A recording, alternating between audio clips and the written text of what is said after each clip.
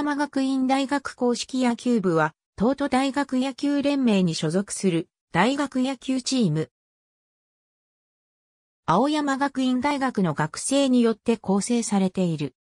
青山学院野球部1883年、東京英和学校にて、宣教師であったブラックレイジ教授が学生に野球を教えたことで野球部が創設される。1925年に東京新州大学野球連盟に加盟するが、自然消滅。戦後の1951年春季に東都大学野球連盟に加盟する。1953年秋季リーグにて2部初優勝。1972年春、9回目の2部優勝にして、入れ替え戦で芝浦高台を下して念願の一部初昇格。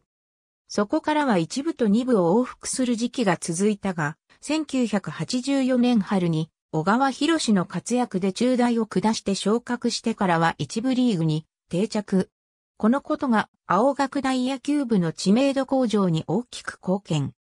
吉田直樹、松山秀明、奈良原博士など甲子園出場経験者が入部してくるようになり、特に松山から始まる PL 学園とのパイプが大きな効果を上げる。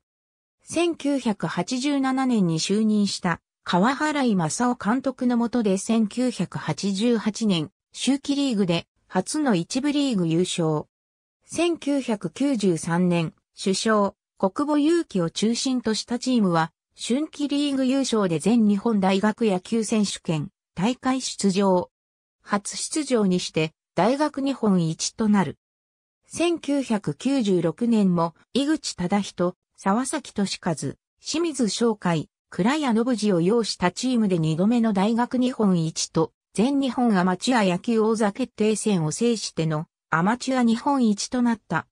1999年には2年生エース石川正則を擁し、3度目の大学日本一と春秋連覇を果たす。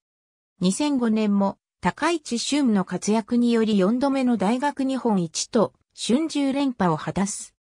全日本大学野球選手権に滅法強く通算19勝1敗という驚異的な勝率で優勝4回と実績を残しているが、一方で、明治神宮野球大会では優勝経験を持たない。